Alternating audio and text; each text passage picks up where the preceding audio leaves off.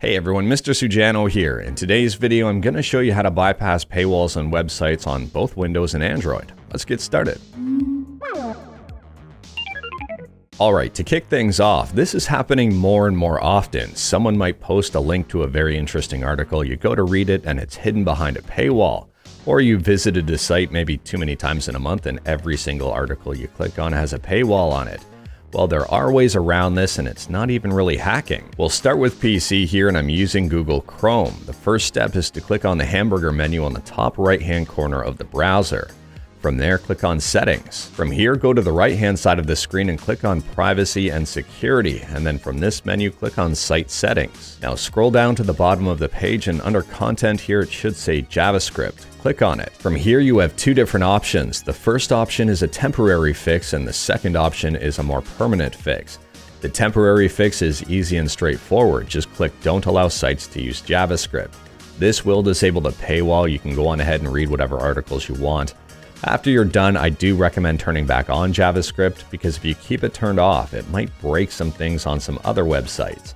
The permanent fix here is just to click the add button and to add the specific site that you're trying to take a look at. If you browse a certain site very often, it might be worthwhile just to put it in here to disable the paywall permanently. Now to show you that this actually works, I'm going to click don't allow sites to use JavaScript. And from here I'm back on the website, I'm going to click the refresh button and now I can get back into the article and there's no paywall. When I'm done here, I just click sites can use JavaScript and if I go back into the site and hit refresh, the paywall will come back up. For the second example here, I'm still on PC, but I'm using Firefox. For Firefox, all you have to do is open up a new tab here, type in about colon config.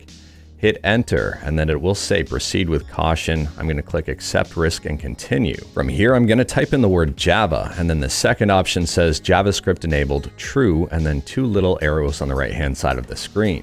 So I'm going to go on ahead and click these two arrows here. It says JavaScript enabled false.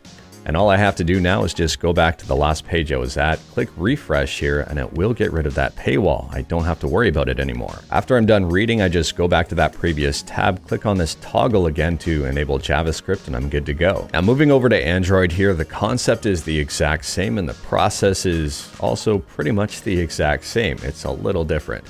So all you have to do is just click on the hamburger menu here on the top right hand corner of your browser. From here, click the settings button towards the bottom of the menu. Then scroll down to where it says site settings and click on that. Look towards the bottom of this menu and click on JavaScript. And from here, simply toggle JavaScript off. Once you've done that, go to the web page here and press that hamburger menu again. From here on the top right, click the refresh button, and then you're pretty much good to go. After you're done, go back into the JavaScript menu and turn JavaScript back on. But anyways, that is all I've got for this video. This really isn't hacking or anything malicious. You're just disabling an option that's readily available to do so in your browsers. On top of that, if you're on iOS here, I'm pretty sure you can follow the exact same method to do the exact same thing. Let me know in the comments below if you already knew about this. Let me know in the comments below if you're using this method. And let me know in the comments below if you're going to start using this method. If you like this video, leave a like. If you didn't like this video, leave a like hit that subscribe button, check out my other videos. Thank you everyone, take care.